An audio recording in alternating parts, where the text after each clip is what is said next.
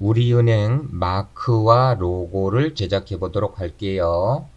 다운로드 받은 예제 이미지를 불러오기 위해서 파일 메뉴 Place 선택하시고요. 우리은행 마크 이미지 클릭하시고 링크에 체크 해제하시고요. Place 버튼을 클릭한 후 Document에서 클릭해서 배치하겠습니다. 원을 그려보도록 할게요. Ellipse Tool 선택해 주시고요. Alt Shift 키를 누른 채로 드래그해서 원을 그리겠습니다. Fill 클릭해서 앞쪽으로 하시고 None 주시고요. Stroke 클릭해서 앞쪽으로 하시고 우선 검정색을 주도록 하겠습니다. Selection Tool 선택하시고요. 그려진 원을 복제를 해 놓도록 할게요. Alt 키 누르고 라인을 하단으로 드래그하고 Shift 키 누른 채로 수직 복사하겠습니다. 동작 반복을 다섯 번 정도만 할게요. 컨트롤 키 누른 채로 D, D, D, D, D 다섯 개 복제를 해주세요. 첫 번째 라인 클릭하시고요. Eyedropper Tool 선택하시고요. 이미지에서 가장 진한 군청색을 클릭을 하실게요. Selection Tool 선택하시고요. 위에서 두 번째 원 클릭하고요.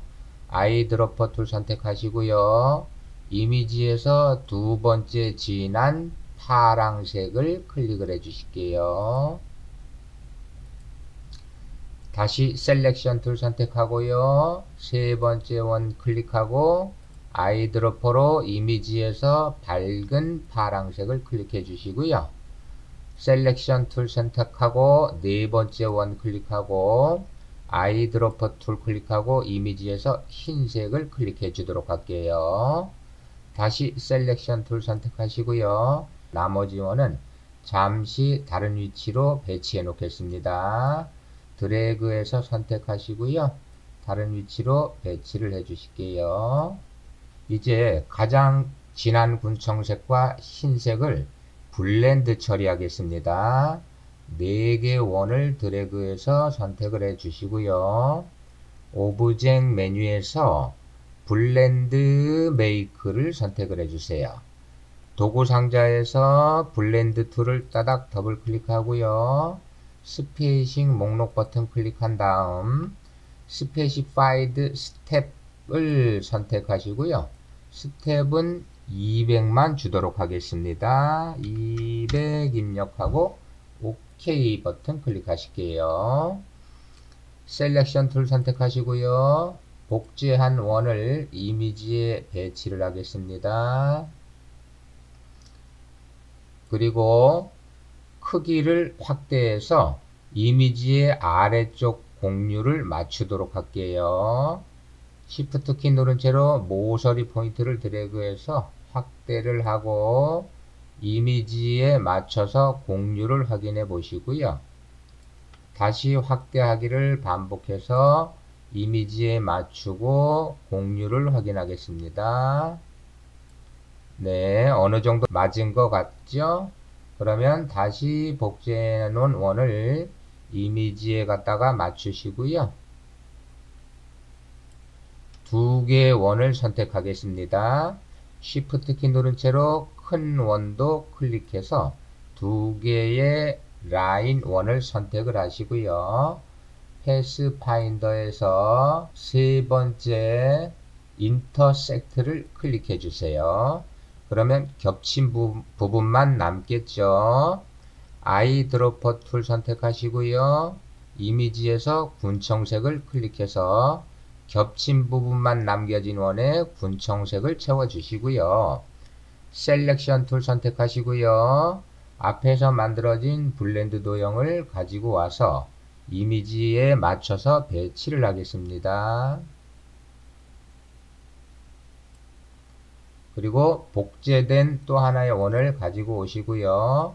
역시 이미지에 맞춰서 배치를 해주세요. 이 원은 Clipping Mask 용도로 사용될 것입니다.